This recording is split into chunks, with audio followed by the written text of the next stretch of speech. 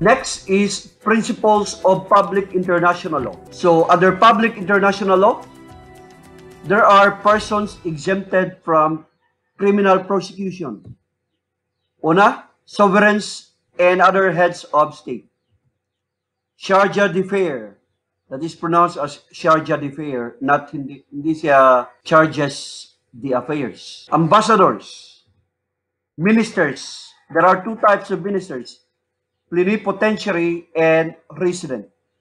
Pag sinabing plenipotentiary, ang ibig sabihin nito, government, politics, and diplomacy, especially of diplomatic envoy, invested with or possessing full power or authority.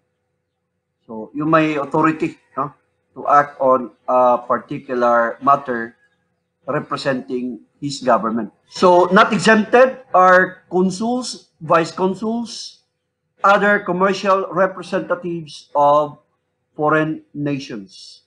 So, you have to remember this one kasi merong naitanong nito sa board examinations na ang consul ba ay kasali sa exempted sa criminal prosecution. So, general rule under principles of public international law, no. Because hindi siya kasali sa listahan sa scam. So, ang memory aid natin is scam. That is, ang S, sovereigns and other heads of states. Letter C, Sharjah d'affair.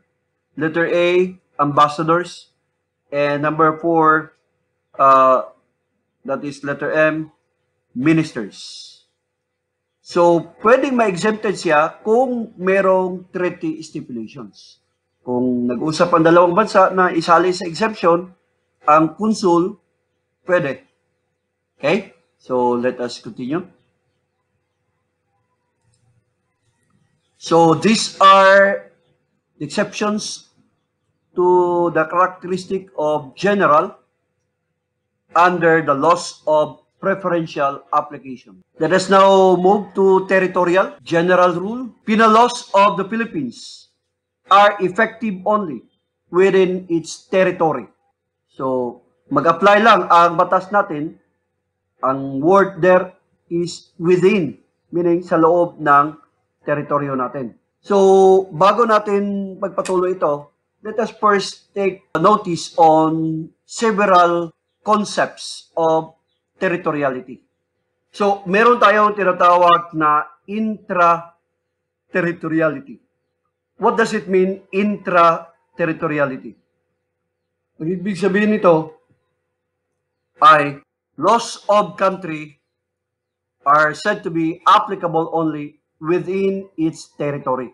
So mag-apply lang ang batas ng isang uh, bansa sa loob lamang ng teritoryo nito. So, the ones that we considered, yung pinaka general rule with regard to territoriality, pasok yan dito sa intra-territoriality. So, ang extra-territoriality, the laws of the country applicable outside its territory.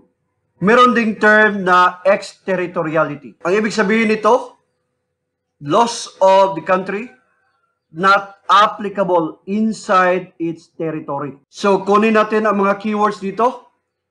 Intra-territoriality.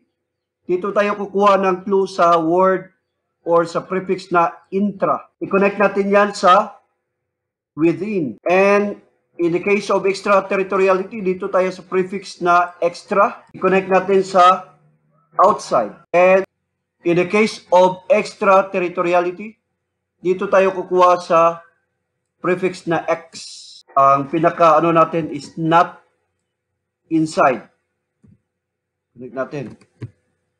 So, intra-territoriality, mag-apply ang batas sa loob ng teritoryo nito.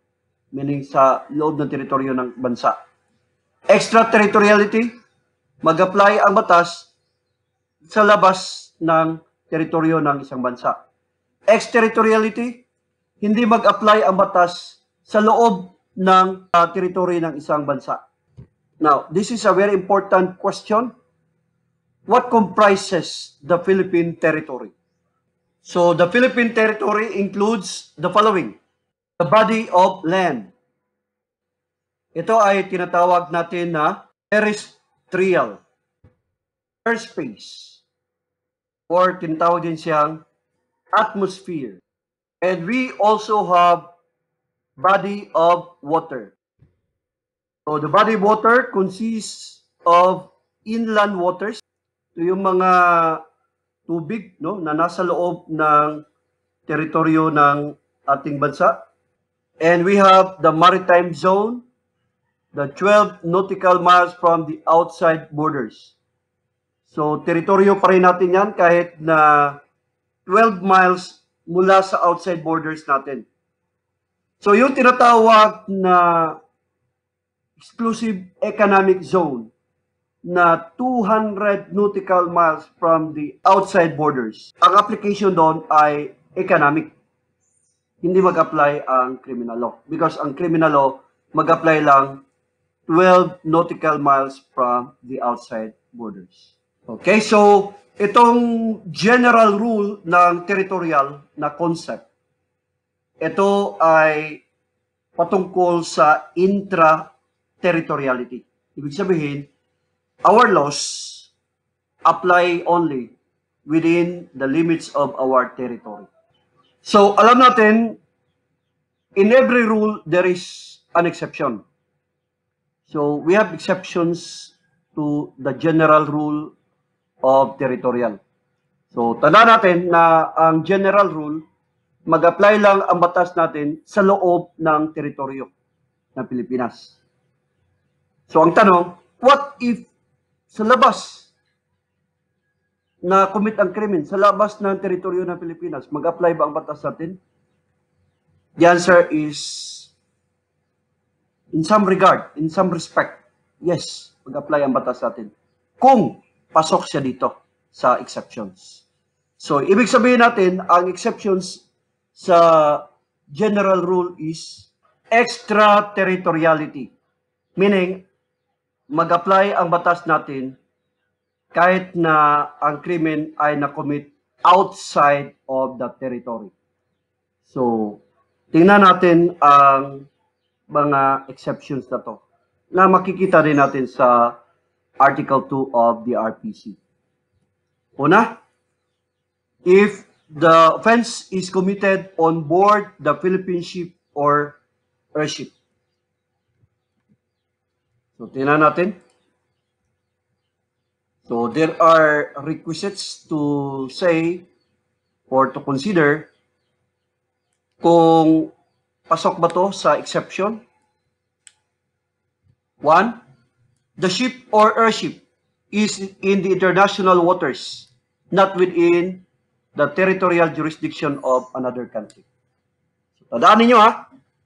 So, kung ang krimen ay nakomit sa loob ng barko ng Pilipinas or eroplano ng Pilipinas, no? so Philippine ship or airship, ang ship na yan or airship na yan ay nasa international waters or yung tinatawag natin na high seas. So kasi pag uh, nasa teritoryo na siya ng ibang bansa, uh, ibang usapan na yan. Depende na sa kung ano yung pinapatupad na rule ng isang bansa. The ship or airship must be registered in the Philippines under Philippine laws.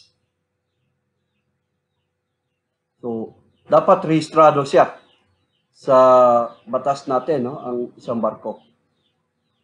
So, ibig sabihin pala nito, ang Philippine ship or airship na pinag-usapan natin dito, kaya may requirement na register. Ito ay privado. No? Privado siya or privately owned, hindi siya pagmamayari ng gobyerno. Because kung ang barko na to ay pagmamayari ng gobyerno ng Pilipinas, automatic yan na kung ano ang krimen na nakumit sa loob ng barko na yan na pagmamayari ng Pilipinas ay ma-prosecute dito sa Pilipinas because tayo ang may palaging jurisdiction over the crime. Why? Because yan ay considered as extension of the territory of our country under the worship rule.